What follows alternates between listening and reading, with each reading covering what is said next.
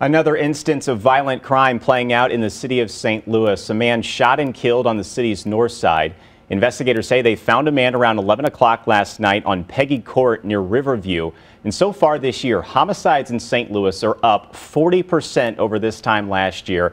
And for over a year now, you've heard about the Cure Violence program that's been put in place, and are, you're probably wondering, is it having any impact? Well, Russell Kinsaul is live in Walnut Park with some of those answers. Russell? Yeah, right now I'm in front of the Walnut Park branch of the library on West Florissant. Walnut Park is one of three neighborhoods where Cure Violence is now up and running, but that's only three out of 79 neighborhoods in the city. And really, it's only been operational for about three and a half, four months. But it's already providing some hope that in those neighborhoods, soon they'll see change.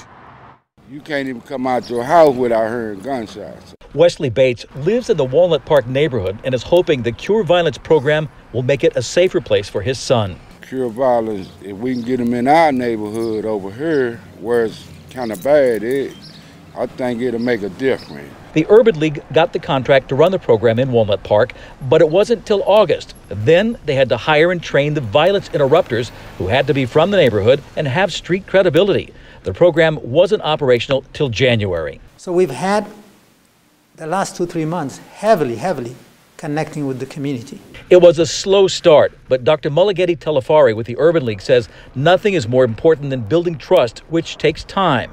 Now, violence interrupters are in beauty salons, barbershops, and gas stations. And then they just stand there, meet people, introduce themselves, and anytime they see a little friction, they're in the middle of it. In the Walnut Park neighborhood, there have only been two fatal shootings since January. One, an accident, the other, a dispute between a brother and sister.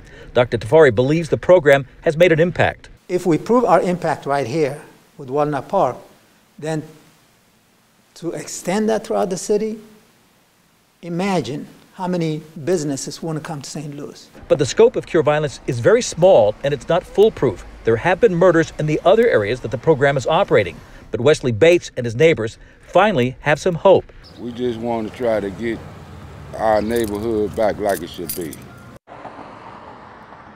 So this national program does have a proven track record, but being only in three neighborhoods, at times it might be hard to see just how much of an impact it's having in the overall scope of crime in the city.